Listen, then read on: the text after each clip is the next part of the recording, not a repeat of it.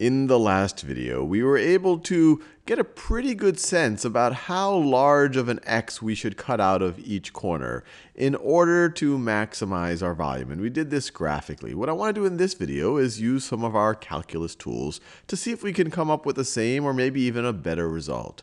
So to do that, I'm going to have to figure out the critical points of our volume as a function of x.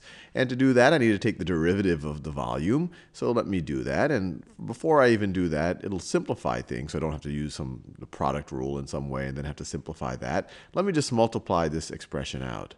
So let's rewrite volume as a function of x is equal to, and I'll write it all in yellow. So it's going to be x times, I'll multiply these two binomials first. So 20 times 30 is 600. Then I have 20 times negative 2x, which is negative 40x. Then I have negative 2x times 30, which is negative 60x. And then I have negative 2x times negative 2x, which is positive 4x squared. So this part over here simplifies, and I can change the order to 4x squared minus 100x minus 100x plus 600. I just switched the order in which I'm writing them. So that's that. And so I can rewrite the volume of x as being equal to x times all of this business, which is, let me make sure I have enough space. Let me do it a little higher, which is equal to 4x to the third power minus 100x squared plus 600x. Now it'll be pretty straightforward to take the derivative. So let's say that v prime of x, v prime of x is going to be equal to, I just have to use the power rule multiple times. So 4 times 3 is 12, x to the 3 minus 1 power, 12x squared, minus 200 times x to the first power, which is just x, plus, plus 600. And so now we just have to figure out when this is equal to 0. So we have to figure out when 12x squared minus 200x plus 600 is equal to 0. What x values gets my derivative to be equal to 0? When is my slope equal to 0? I could also look for critical points where the derivative is undefined, but this, der this derivative is defined, especially throughout my, the, my domain of x that I care about, between x's, between 0 and 10. So I could try to factor this or try to simplify this a little bit, but I'm just going to cut to the chase and try to use the quadratic formula here.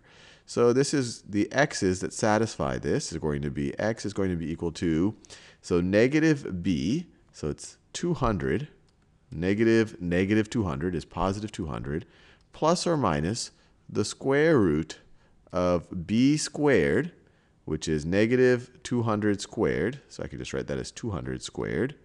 Doesn't matter if it's negative 200 squared or 200 squared, I'm going to get the same value. So let me give myself some more space. So negative 200 squared, well, that's going to be 4 with four zeros. 1, 2, 3, 4. So that's going to be 40,000 minus 4ac. So minus 4 times 12, 12 times 600. I still didn't give myself enough space. Times 600. All of that over 2 times a. So all of that over 24. And I'll take, a, take out the calculator again to try to calculate this. So let me get out of graphing mode. All right, so first I'll try when I add, when I add the radical. So I'm going to get 200, 200 plus the square root of 40,000. I could have just written that. I could have just written that as 200 squared, but that's fine. 40,000 minus 4 times 12 times 600 times 600. And I get 305, which I then need to divide by 24 which I'll divide by 24, and I get 12.74. So one of my possible x's, so it equals 12.74. And now let me do the situation where I subtract what I had in the radical sign. So let me get my calculator back. And so now let me do 200. I probably could have done this slightly more efficiently, but this is fine. Minus the square root of 40,000, 1, 2, 3, minus 4 times 12 times 600. and I get, that's just the numerator, and then I'm going to divide that by 24, divide that by 24, and I get 3.92. Did I do that right? 200 minus 40,000 minus 4 times 12 times 600, all of, the, all of that divided by 24, my previous answer divided by 24, gives me 3.92. So it's 12.74 or 3.92. Now, which of these can I use? Well, 12 point x equals 12.74 is outside of our outside of our valid values for x. If x was equal to 12.74, we would cut past, we would completely cut past, the x's would start to overlap with each other. So x cannot be 12.74. So we get a critical point at x is equal to 3.92. And you could look at the graph that you could say, oh, look, that looks like a maximum value. But if you didn't have the graph at your disposal, you can then do the second derivative test and say, hey, are we concave upwards or concave downwards when x is equal to 3.92? Well, in order to do the second derivative test, you have to figure out what the second derivative is, so let's do that. v prime prime of x is going to be equal to is going to be equal to 24x, 24 times x to the first, minus 200, minus, minus 200. And you can just look at inspection that this number right over here is less than 4. So this thing right over here is going to be less than 100. You subtract, you subtract 200. So we can write the second derivative at 3.92 is going to be less than 0. You can figure out what the, net, the exact value is if you like. So because this is less than 0, we are concave downwards.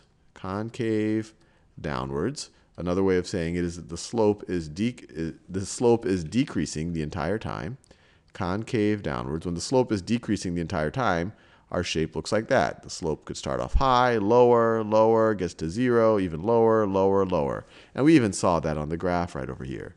And since it's concave downwards, that implies that our critical point that sits where or, or, during where the interval is concave downward, that critical point is a local maximum is, is a maximum. So this is the x value at which our function attains our maximum. Now, what, what is that maximum value? Well, we could type that back in into our original expression for volume to figure what that is. So let's figure out what the volume when we get to 3.92 is equal to. What is our maximum volume? So get the calculator back out.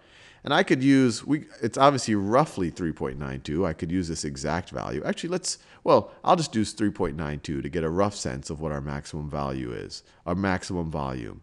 So it'll be 3.92, 3.92. I'll just use this, this expression for the volume as a function of x. 3.92 times, times 20 minus 2 times 3.92 times 30. 30 minus 2 times 3.92 gives us, and we deserve a drum roll now, gives us 1056.3. So 1056 0.3, which is a higher volume than we got when we just inspected it graphically. We probably could have gotten a little bit more precise if we zoomed in some, and then we would have gotten a little bit better of an answer. But there you have it. Analytically, we were able to actually get an even better answer than we were able to do, at least on that first pass, graphically.